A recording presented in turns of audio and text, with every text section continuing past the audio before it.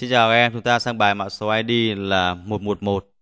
Bài này nằm trong khóa vô cơ cơ bản 11, chuyên đề bài toán cho H cộng phản ứng từ từ với hỗn hợp gồm có muối CO3 hai trừ và muối HCO3 trừ.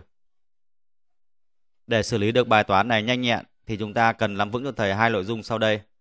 Nội dung thứ nhất là hiểu được bản chất thứ tự phản ứng. Đây.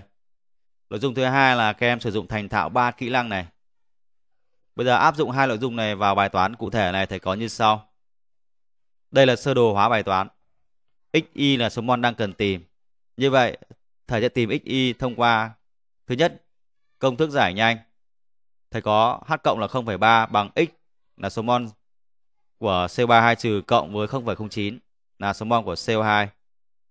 Thứ hai, thầy bảo toàn nguyên tố carbon. X cộng Y là tổng số C ban đầu sẽ bằng C sau phản ứng gồm có C trong CO2 cộng với C trong HCO3 trừ. C trong HCO3 trừ của thầy lại bằng với C ở trong BaCO3 ở đây. Như vậy kết quả thầy có phương trình x cộng y bằng 0,09 cộng 0,3. Giải hệ phương trình các em tìm ra x bằng 0,21 và y bằng 0,18. Như vậy khối lượng m gam hỗn hợp này các em cộng cả vào. Kết quả bằng 37,38 gam. Đáp án thầy gọi là C.